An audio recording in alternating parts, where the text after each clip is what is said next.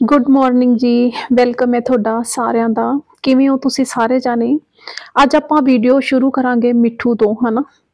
ਮਿੱਠੂ ਨੂੰ ਦੇਖ ਲਓ, ਸਾਰਾ ਦਿਨ ਭੱਜ ਭੱਜ ਕੇ, ਭੱਜ ਭੱਜ ਕੇ ਜਦੋਂ ਇਹ ਭੱਜਦਾ ਰਹਿੰਦਾ ਹੈ, ਵੈਸੇ ਤਾਂ ਕਹਿੰਦੇ ਇਹਦੀ ਥਕਾਵਟ ਦਾ ਕਿਸੇ ਨੂੰ ਪਤਾ ਨਹੀਂ ਚੱਲਦਾ, ਪਰ ਮੈਨੂੰ ਇੰਨਾ ਪਤਾ ਹੈ ਕਿ ਜਦੋਂ ਮੈਂ ਇਹਦਾ ਮੂੰਹ ਹੱਥ ਧੋਦਾ ਨਾ ਤੇ ਉਸ ਤੋਂ ਬਾਅਦ ਇਹਨੂੰ ਇੰਨੀ ਨੀਂਦ ਚੜਦੀ ਹੈ, ਇਹਨੂੰ ਬਿਲਕੁਲ ਸੁੱਧ ਬੁੱਧ ਨਹੀਂ ਰਹਿੰਦੀ ਕਿ ਮੈਂ ਕਿੱਥੇ ਪਿਆ। ਜੇ ਮੈਂ ਝੋਲੇ 'ਚ ਹੁਣੇ ਹਜੇ ਮੂੰਹ ਹੱਥ ਦਾ ਧੋ ਕੇ ਲਿਆਈ ਆ, ਔਰ ਤੁਸੀਂ ਇਹਦੇ ਹੱਥ ਦੇਖ ਸਕਦੇ ਹੋ, ਇਹਦੇ ਪੈਰ ਦੇਖ ਸਕਦੇ ਹੋ, ਇਹਦਾ ਮੂੰਹ ਦੇਖ ਸਕਦੇ ਹੋ। ਇਸ ਤਰ੍ਹਾਂ ਡਿੱਗਿਆ ਪਿਆ ਜਿਵੇਂ ਇਹਨੂੰ ਕੁਛ ਨਾ ਕਹਿੰਦੇ ਨਾ ਦੋ ਚਾਰ ਪੈਗ ਪੀ ਕੇ ਸੁੱਤਾ ਹੁੰਦਾ ਇਹ ਮੈਨੂੰ ਕਹਿ ਰਹੇ ਸੀਗੇ ਇਸ ਤਰ੍ਹਾਂ, ਔਰ ਦੇਖ ਲਓ ਤੁਸੀਂ, ਇਹਨੂੰ ਇੰਨਾ ਮਜ਼ਾ ਆਉਂਦਾ ਹੈ, ਔਰ ਦੇਖ ਲਓ ਗਰਦਨ ਪਿੱਛੇ ਸਿੱਟੀ ਬੈਠਾ ਹੈ। ਔਰ ਹੱਥ ਜਿੱਥੇ ਹੈ ਉੱਥੇ ਹੀ ਹੈ। ਸੋ ਕਹਿੰਦੇ ਨਾ ਸੇਵਾ ਅਹ, ਕਰਾਉਣ ਦਾ ਕਿਹਨੂੰ ਕਹਿੰਦੇ ਆਨੰਦ ਨਹੀਂ ਆਉਂਦਾ ਹੈਗਾ ਹਨਾ? ਚਾਹੇ ਇਨਸਾਨ ਹੈ ਤੇ ਚਾਹੇ ਜਾਨਵਰ ਹੈ। ਇਹ ਨਾਮ ਨਾਮਦੇਹੀ ਜਾਨਵਰ ਹੁੰਦੇ ਆ। ਪਤਾ ਸਾਰਾ ਕੁਝ ਹੁੰਦਾ ਇਹਨਾਂ ਨੂੰ ਕਿ ਕੌਣ ਸਾਡੀ ਸੇਵਾ ਕਰ ਰਿਹਾ ਹੈ ਔਰ ਕੌਣ ਨਹੀਂ ਕਰ ਰਿਹਾ ਹੈਗਾ ਹਨਾ?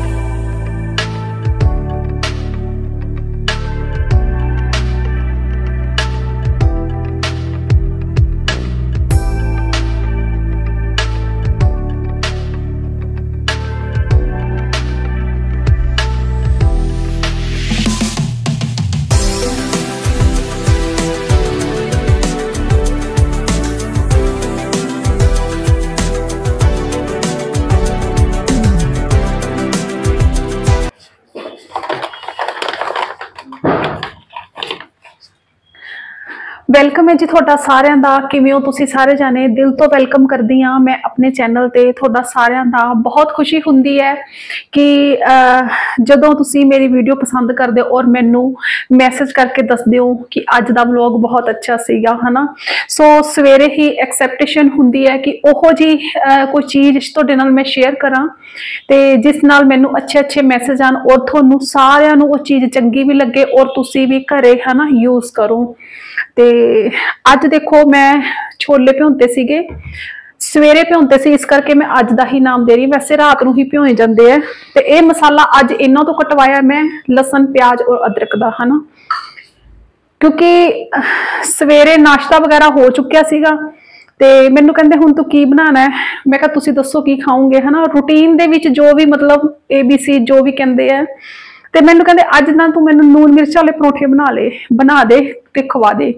ਅੱਜ ਮੈਂ ਤਾਂ ਹੀ ਤੁਹਾਡੇ ਨਾਲ ਸ਼ੇਅਰ ਨਹੀਂ ਮਤਲਬ ਕੋਈ ਨਾਸ਼ਤੇ ਦਾ ਕੀਤਾ। ਸਿੰਪਲ ਪਰੌਂਠੇ ਸੀ ਸਾਡੇ, ਨੂਨ ਮਿਰਚਾਂ ਵਾਲੇ ਔਰ ਨਾਲ ਕੱਲ ਦਾ ਕੱਢਿਆ ਹੋਇਆ ਮੱਖਣ ਸੀ ਔਰ ਨਾਲ ਚਾਹ ਸੀ, ਬਸ ਅਸੀਂ ਇਹੀ ਨਾਸ਼ਤਾ ਕੀਤਾ। ਇਹ ਛੋਲੇ ਭਿਉਂਤੇ ਸੀਗੇ, ਛੋਲੇ ਮੈਂ ਹੁਣ ਨਹੀਂ ਬਣਾਉਂਗੀ ਤੇ ਹੁਣ ਮੈਂ ਤੁਹਾਡੇ ਨਾਲ ਕੁਝ ਹੋਰ ਸ਼ੇਅਰ ਕਰੂੰਗੀ, ਠੀਕ ਹੈ? ਤੇ ਉਹ ਮੈਂ ਤੁਹਾਨੂੰ ਅੱਗੇ ਵੀਡੀਓ ਦੇ ਵਿੱਚ ਦੱਸੂੰਗੀ। ਤੇ ਹੁਣ ਆਪਾਂ ਥੋੜਾ ਜਿਹਾ ਕਰ ਲਈਏ ਕੰਮ, ਕਿਉਂਕਿ ਕਿਚਨ ਦਾ ਕੰਮ ਹੋ ਚੁੱਕਿਆ ਸਾਰਾ, ਹਨਾ? ਕਿਚਨ ਦਾ ਸਾਰਾ ਕੰਮ ਹੋ ਚੁੱਕਿਆ ਹੈ ਤੇ ਚਲੋ ਨਾਲ ਨਾਲ ਕੰਮ ਕਰਦੇ ਨਾਲ ਨਾਲ ਤੁਹਾਨੂੰ ਮੈਂ ਦੱਸਦੀ ਹਾਂ, ਠੀਕ ਹੈ?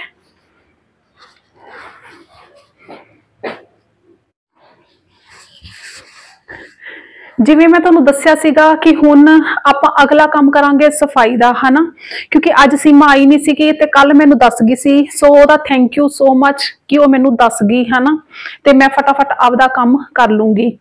ਕੰਮ ਮੈਂ ਸੀਮਾ ਦੇ ਹੀ ਟਾਈਮ ਤੇ ਕਰਨ ਲੱਗੀ ਹੈਗੀ ਆ, ਹਨਾ? ਕਹਿੰਦੇ ਉਹਨਾਂ ਦਾ ਕੰਮ ਉਹਨਾਂ ਦੇ ਟਾਈਮ ਤੇ ਹੀ ਕਰੋ ਤੇ ਉਹਨਾਂ ਵਾਂਗੂ ਹੀ ਕਰੋ, ਹਨਾ? ਸੋ ਆਪਣਾ ਕੰਮ ਖਤਮ ਹੁੰਦਾ ਹੈਗਾ। ਜੇ ਅਸੀਂ ਸੋਚੀਏ ਨਾ ਵੀ ਅੱਜ ਹੈਲਪਰ ਨੇ ਛੁੱਟੀ ਲੈ ਲਈ ਤੇ ਆਪਾਂ ਉਹ 2-3 ਘੰਟੇ ਕੰਮ ਤੇ ਲਾ ਦਈਏ, ਉਹ ਨਹੀਂ ਚੱਲਦਾ ਹੈਗਾ। ਕਿਉਂਕਿ ਆਪਾਂ ਉਸੇ ਵਿੱਚ ਹੀ ਲੱਗੇ ਰਵਾਂਗੇ।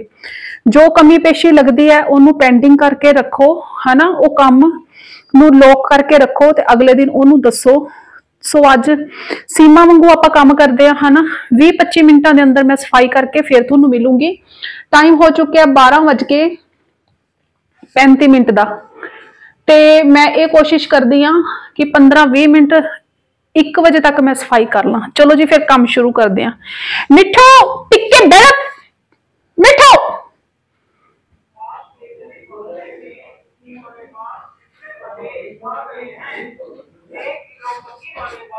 एक किलो कंगी वाले वाल के चौबीस सौ रुपये अद्धा किलो दे ਮੈਨੂੰ ਨਾ ਕਈ ਵਾਰ ਭਾਈ ਨੂੰ ਕਹਿੰਦੀ ਹੁੰਨੀ ਮੈਂ ਕਿਹਾ ਵਾਲ ਤਾਂ ਸਾਡੇ ਵੱਧਦੇ ਨਹੀਂ ਹੈਗੇ ਤੈਨੂੰ ਕਿੱਥੋਂ ਅਸੀਂ ਅੱਧਾ ਕਿਲੋ ਪਾਈਆ ਵੀ ਨਹੀਂ ਦੇ ਸਕਦੇ 50 ਗ੍ਰਾਮ ਵੀ ਨਹੀਂ ਦੇ ਸਕਦੇ 100 ਗ੍ਰਾਮ, ਕਹਿੰਦਾ ਜੀ ਲੋਕੀ ਦਿੰਦੇ ਆ। ਸੋ ਆਪਣੀ ਆਪਣੀ ਉਹ ਹੁੰਦੀ ਹੈ ਨਾ ਵਾਲਾਂ ਦੀ ਗਰੋਥ ਚਲੋ ਜੀ ਕੰਮ ਕਰੀਏ ਲੇਟ ਹੋ ਜਾਾਂਗੇ ਚਲੋ ਮਿੱਟੂ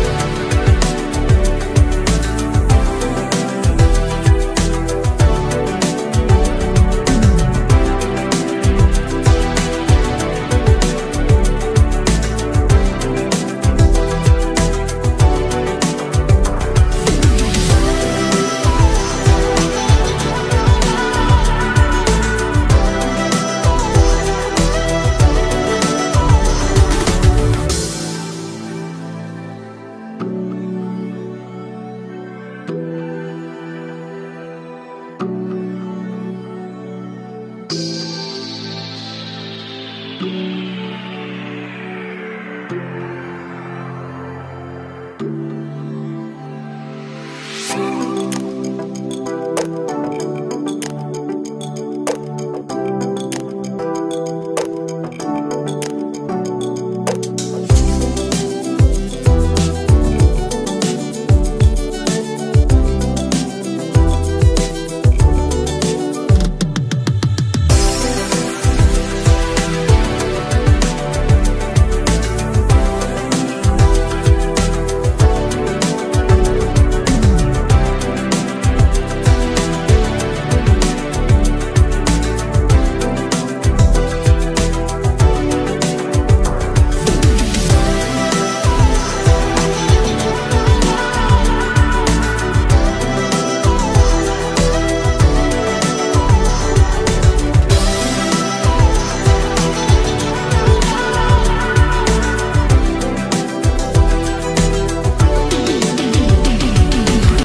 ਕਹਿੰਦੇ ਆ ਨਾ, ਇਹਨਾਂ ਨੂੰ ਸਾਰਾ ਹਿਸਾਬ ਹੁੰਦਾ ਹੈ ਤੇ ਇਹਨਾਂ ਨੇ ਪਤਾ ਨਹੀਂ ਕਿੰਨੇ ਘਰ ਕਰਨੇ ਹੁੰਦੇ ਆ। ਮੈਨੂੰ ਇਹ ਸਫ਼ਾਈ ਕਰਨ ਨੂੰ ਤੁਸੀਂ ਦੇਖ ਲਓ, ਮੈਂ ਤੁਹਾਨੂੰ ਅੱਧਾ ਘੰਟਾ ਕਹਿੰਦੀ ਸੀ ਨਾ, ਮੈਨੂੰ ਪੌਣਾ ਘੰਟਾ ਲੱਗ ਗਿਆ। ਔਰ ਇੰਨਾ ਮਤਲਬ ਮੈਨੂੰ ਇਸ ਤਰ੍ਹਾਂ ਪਤਾ ਚੱਲ ਗਿਆ ਕਿ ਕਿੱਥੋਂ ਰੂਟੀਨ ਦੇ ਵਿੱਚ ਸਫ਼ਾਈ ਹੋ ਰਹੀ ਹੈ ਤੇ ਕਿੱਥੋਂ ਨਹੀਂ ਹੋ ਰਹੀ ਹੈ ਨਾ ਆਪਣੇ ਘਰ ਦਾ ਜਦੋਂ ਆਪਾਂ ਆਪ ਕੰਮ ਕਰਦੇ ਆ ਨਾ, ਹਰ ਇੱਕ ਕੋਨੇ ਦਾ ਸਾਨੂੰ ਪਤਾ ਹੁੰਦਾ ਹੈ ਕਿ ਇੱਥੋਂ ਸਫ਼ਾਈ ਨਹੀਂ ਹੋਈ, ਇੱਥੋਂ ਨਹੀਂ ਸਫ਼ਾਈ ਹੋਈ। ਸਾਫ਼ ਪਿਆ ਸੀ ਬਿਲਕੁਲ ਘਰ, ਇਹ ਨਹੀਂ ਸੀ ਕਿ ਗੰਦਾ। ਗੰਦਾ ਨਹੀਂ ਸੀਗਾ, ਪਰ ਕਹਿੰਦੇ ਆ ਨਾ, ਆਪਦੇ ਹੱਥ ਨਾਲ ਜਿਹੜਾ ਕੰਮ ਕਰਨ ਦਾ ਮਜ਼ਾ ਹੁੰਦਾ ਹੈ ਨਾ, ਤੇ ਉਹਦੇ ਵਿੱਚ ਸਾਨੂੰ ਸਾਰਾ ਕੁਝ ਪਤਾ ਚੱਲ ਜਾਂਦਾ ਹੈਗਾ। ਉਸ ਵਿੱਚ ਨਾ ਆਪਾਂ ਹੋਰ ਵੀ ਕੰਮ ਕਰ ਲੈਂਦੇ ਆ ਹੁਣ ਜਿਵੇਂ ਸਫ਼ਾਈ ਕਰ ਰਹੇ ਆ ਨਾਲ ਦੀ ਨਾਲ ਆਪਾਂ ਕੰਧਾਂ ਝਾੜ ਲਈਆਂ, ਹਨਾ। ਥੋੜੇ ਥੋੜੇ ਜਿਵੇਂ ਦਰਵਾਜ਼ੇ ਪੂੰਝ ਲਏ ਜਾਂ ਫਿਰ ਕਿਤੇ ਵੀ ਆਪਾਂ ਨੂੰ ਸ਼ੀਸ਼ਾ ਜਾਂ ਕੋਈ ਹੋਰ ਵੀ ਚੀਜ਼ ਗੰਦੀ ਨਜ਼ਰ ਆਉਂਦੀ ਹੈ। ਸੋ ਕਹਿੰਦੇ ਨੇ ਸਿਰਫ ਇੱਕ ਝਾੜੂ ਪੋਚਾ ਬਸ ਉਹੀ ਕਰਕੇ 20 25 ਮਿੰਟਾਂ ਦਾ ਕੰਮ ਹੁੰਦਾ ਹੈਗਾ।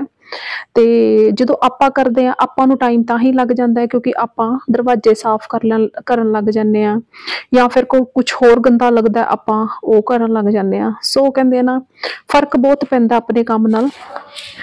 ਲੋ ਜੀ ਗੁੱਡ ਆਫਟਰਨੂਨ ਹਨਾ? ਗੁੱਡ ਆਫਟਰਨੂਨ ਹੋ ਚੁੱਕਿਆ ਅਸੀਂ ਰੋਟੀ ਖਾ ਲਈ ਤੇ ਇਹ ਗਏ ਹੋਏ ਆ ਕਿਤੇ ਕੰਮ। ਮੈਨੂੰ ਕਹਿੰਦੇ, ਮੈਂ ਥੋੜੀ ਦੇਰ ਚ ਆਉਣਾ ਮੈਂ ਕਿਹਾ, ਠੀਕ ਹੈ। ਮੈਂ ਕਿਹਾ, ਚੱਲ ਓਨੀ ਦੇਰ ਮੈਂ ਰੈਡੀ ਤਾਂ ਸੀਗੀ, ਅਸੀਂ ਕਿਤੇ ਜਾਣਾ ਹੈਗਾ। ਤੇ ਜੇ ਮਤਲਬ ਅਸੀਂ ਟਾਈਮ ਤੇ ਆ ਗਏ ਤਾਂ ਉਹ ਕਲਿੱਪ ਮੈਂ ਤੁਹਾਡੇ ਨਾਲ ਜ਼ਰੂਰ ਸ਼ੇਅਰ ਕਰੂੰਗੀ। ਨਹੀਂ ਤਾਂ ਉਹ ਵਾਲਾ ਕਲਿੱਪ ਮੈਂ ਕੱਲ ਵਾਲੀ ਵੀਡੀਓ ਦੇ ਵਿੱਚ ਐਡ ਕਰੂੰਗੀ, ਠੀਕ ਹੈ? ਹੁਣ ਬਣਾਵਾਂਗੇ ਜੀ ਆਪਾਂ ਗੁੜ ਵਾਲੀ ਗੱਚਕ, ਹਨਾ? ਮੈਂ ਕਿਸ ਤਰ੍ਹਾਂ ਬਣਾਉਣੀ ਆ ਉਹ ਤੁਸੀਂ ਦੇਖੋ, ਠੀਕ ਹੈ? ਮੈਂ ਬਣਾਉਂਗੀ ਔਰ ਤੁਸੀਂ ਦੇਖਿਓ, ਫਿਰ ਤੁਸੀਂ ਬਣਾਇਓ ਤੇ ਫਿਰ ਮੈਨੂੰ ਦੱਸਿਓ, ਠੀਕ ਹੈ? ਚਲੋ ਜੀ, ਇਹਦੇ ਵਾਸਤੇ ਮੈਂ ਤੁਹਾਨੂੰ ਦਿਖਾਉਣੀ ਆ ਮੈਂ ਕੀ ਸਮਾਨ ਲਿਆ, ਠੀਕ ਹੈ? ਆ ਜਾਓ ਹੁਣ ਦੇਖ ਲਓ। ਉਹ ਕੈਮਰਾ ਤਾਂ ਇੱਧਰ ਕੀਤਾ ਨਹੀਂ ਮੈਂ ਹੁਣੇ ਕਰਦੀ ਹਾਂ ਕੈਮਰਾ।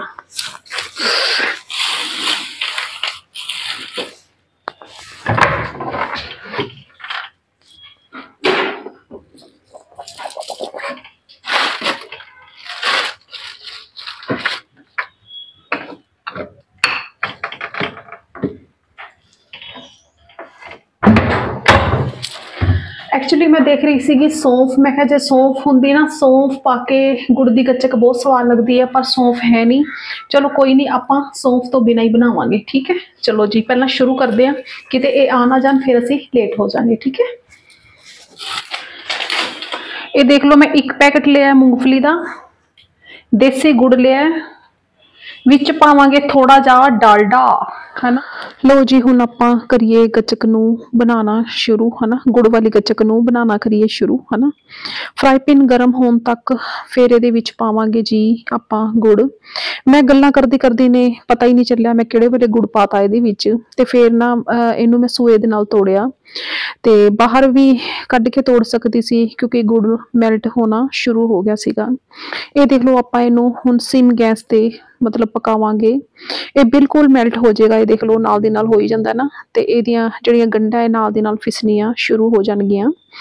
ਇਹਦੇ ਵਿੱਚ ਥੋੜਾ ਜਿਹਾ ਆਪਾਂ ਪਾਵਾਂਗੇ ਜੀ ਡਾਲਡਾ। ਡਾਲਡਾ ਪਾਉਣ ਤੋਂ ਬਾਅਦ ਫਿਰ ਇਹਦੇ ਵਿੱਚ ਕਰਾਂਗੇ ਆਪਾਂ ਮੂੰਗਫਲੀ ਨੂੰ ਐਡ ਜੇ ਡਾਲਡਾ ਤੁਸੀਂ ਨਹੀਂ ਵੀ ਪਾਣਾ ਚਾਹੁੰਦੇ, ਤੁਸੀਂ ਦੇਸੀ ਵੀ ਪਾ ਸਕਦੇ ਹੋ। ਵੈਸੇ ਡਾਲਡਾ ਪਾ ਕੇ ਹੀ ਬਹੁਤ ਵਧੀਆ ਗੱਚਕ ਬਣ ਕੇ ਤਿਆਰ ਹੋ ਜਾਂਦੀ ਹੈ। ਮੈਂ ਗੱਚਕ ਥੋੜੀ ਜੀ ਸੌਫਟ ਬਣਾਉਂਗੀ। ਸੌਫਟ ਨਹੀਂ, ਜਿਵੇਂ ਕਈ ਵਾਰ ਆਪਾਂ ਗੱਚਕ ਲਿਆਉਂਦੇ ਹਾਰਡ ਹੁੰਦੀ ਹੈ ਨਾ ਬਹੁਤ ਜ਼ਿਆਦਾ। ਜਿਵੇਂ ਕਹਿੰਦੇ ਕੜਕ ਦੇ ਨੇ ਟੁੱਟ ਜਾਂਦੀ ਹੈ। ਤੇ ਮੈਂ ਥੋੜੀ ਜੀ ਇਸ ਤਰ੍ਹਾਂ ਕਿ ਨਾ ਜ਼ਿਆਦਾ ਹਾਰਡ ਤੇ ਨਾ ਜ਼ਿਆਦਾ ਸੌਫਟ ਬਣਾਉਂਗੀ। ਤੇ ਇਹ ਦੇਖ ਲਓ ਜੀ, ਮੈਂ ਫਿਰ ਫਟਾਫਟ ਬੈਟਰ ਨੂੰ ਪਲੇਟ 'ਚ ਪਾਤਾ। ਹਲਕਾ ਜਾ ਕੇ ਉਹਦਾ ਹੱਥ ਲਾ ਕੇ ਨਾ ਪਲੇਟ ਨੂੰ, ਫਿਰ ਉਸ ਤੋਂ ਬਾਅਦ ਇਸ ਤਰ੍ਹਾਂ ਚਮਚੇ ਦੇ ਨਾਲ, ਹੱਥਾਂ ਦੇ ਨਾਲ, ਬੜੀ ਆਸਾਨੀ ਦੇ ਨਾਲ ਇਹ ਫੈਲ ਕੇ ਤਿਆਰ ਹੋ ਜਾਂਦਾ ਹੈ। ਉਹ ਜਿੰਨੀ ਤੁਸੀਂ ਮੋਟੀ ਰੱਖਣੀ ਹੈ, ਮੋਟੀ ਰੱਖੋ, ਜਿੰਨੀ ਪਤਲੀ ਕਰਨੀ ਹੈ, ਤੁਸੀਂ ਫੈਲਾ ਦਿਓ, ਵੱਡੇ ਥਾਲ 'ਚ ਪਾ ਲਓ ਹਨਾ। ਤੇ ਤੁਸੀਂ ਵੀ ਜਰੂਰ ਬਣਾ ਕੇ ਦੇਖਿਓ ਔਰ ਮੈਨੂੰ ਦੱਸਿਓ। ਤੇ ਬਿਲਕੁਲ ਇਹਦੇ 'ਚ ਦੇਖ ਲਓ, ਨਾ ਆਪਾਂ ਮਿੱਠਾ ਸੋਡਾ ਪਾਇਆ। ਨਹੀਂ ਤਾਂ ਅਕਸਰ ਆਪਾਂ ਬਾਜ਼ਾਰ ਦੀ ਕੱਚਕ ਲਿਆਉਂਦੇ ਆ ਨਾ ਤੇ ਉਹਦੇ ਨਾਲ ਮੂੰਹ ਛਿੱਲਿਆ ਜਾਂਦਾ ਹੈ। ਇਸ ਵਲੋਗ ਦਾ ਆਪਾਂ ਐਂਡ ਇੱਥੇ ਹੀ ਕਰਾਂਗੇ। ਕੱਲ ਨੂੰ ਫੇਰ ਇੱਕ ਨਵੇਂ ਵਲੋਗ ਦੇ ਨਾਲ ਹਾਜ਼ਰ ਹੋਵਾਂਗੇ। ਓਕੇ ਜੀ ਬਾਏ ਬਾਏ